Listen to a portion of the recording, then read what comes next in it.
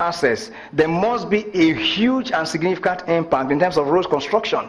If you go to uh, uh, uh, Mobbar local government, what is there? If you go to Abadam local government, there's no road beyond Gudumbali, uh, Damasak, uh, Gudumbali, uh, Crosskawa. There's no other road going to the north, going to uh, Abadam, going to Malam Fatori.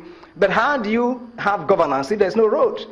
So, so we think that a lot of things need to be done. It's not, that's, not, that's not a job for Operation Lafiya Dole, but I know that um, um, a lot of actions are being put in place to ensure that massive reconstruction uh, is, is, undertaken. The same goes for Alagarno Forest. The, why can't we have a link between uh, Benisheikh and, uh, and, uh, and Kumala? Why can't we have a link between uh, Minor, for example, to, uh, to Dewa? Of course, across, so that you'll be able to have a thorough access. The same goes from, from Dewa into the heart of Sambisa. And if possible, to uh, Pulka, it's possible. These are things that can be done. We, on our own, we are moving forward. We are believing, we, we, we do some engagement to construct earth route that will aid our operations. Once that aids our operation, we believe that from there, other agencies, other, other stakeholders should, should take it from there. I, I hope that, um, that answers your question.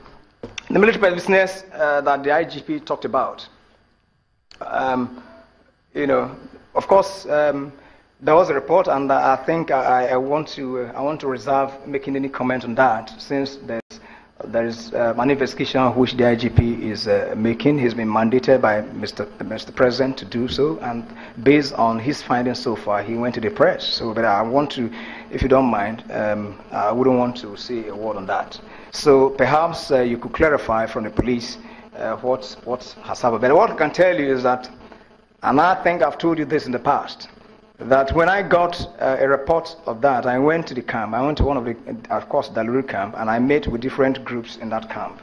And of course, they also gave me their own side of the story, which was part and parcel of the investigation that the military conducted. But I think that, um, that this might not be the forum for us to give the details on that.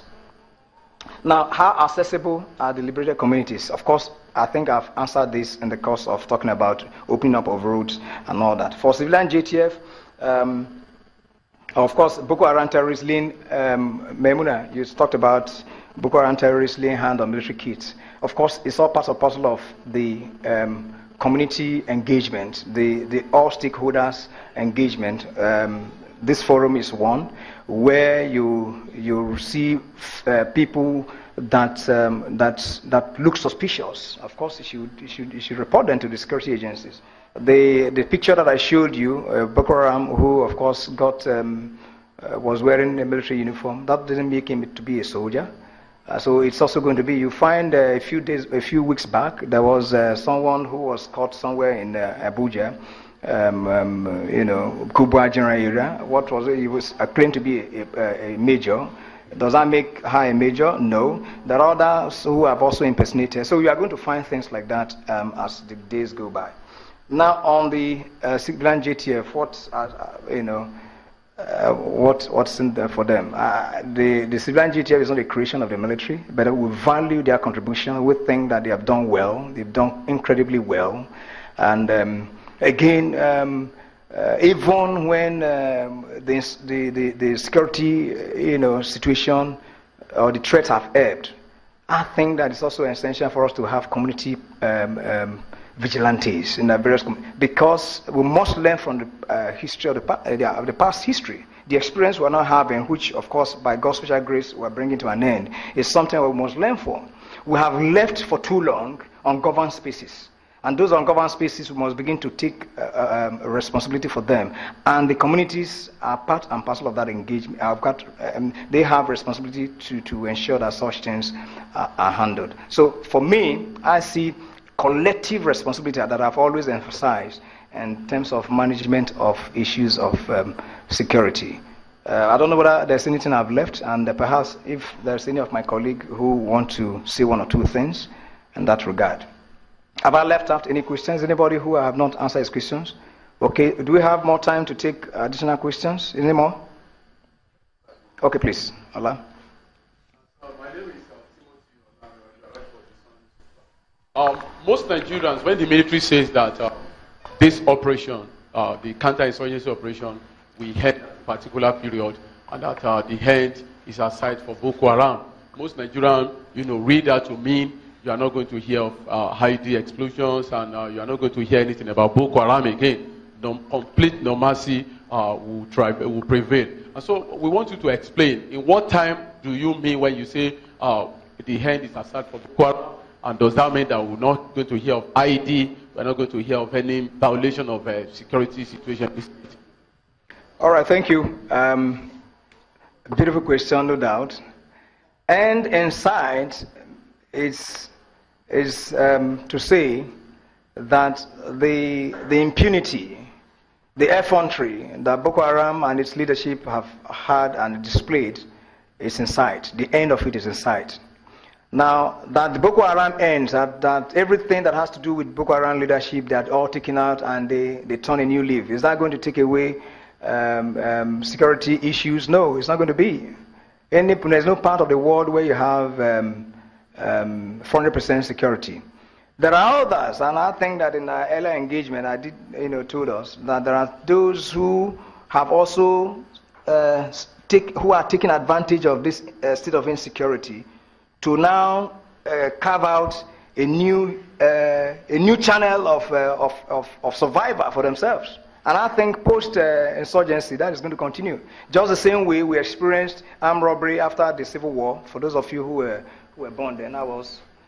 Uh, I know that uh, you were born.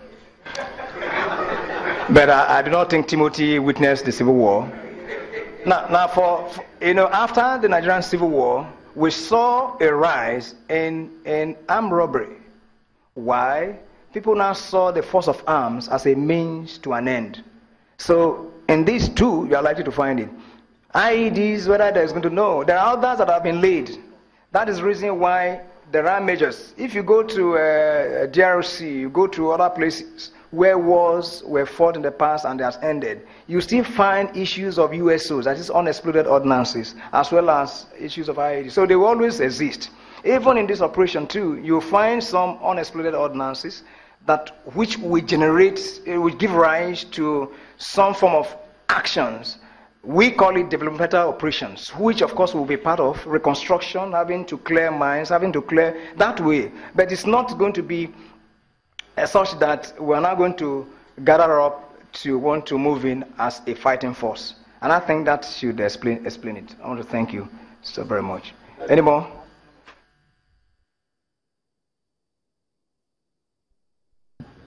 Well, that has been the Theatre Commander, Operation Lafiya Dole, Major General Lucky Irabor, giving an update on the ongoing military operation and other activities here uh, within the Northeast Theatre of Operation the chance to update Nigerians on what is going on in the fight against insurgency here in the Northeast. I'd like to thank you for uh, being here with us to be part of this um, live broadcast. And right now, I'd like to take you back to our headquarters for our regular programming.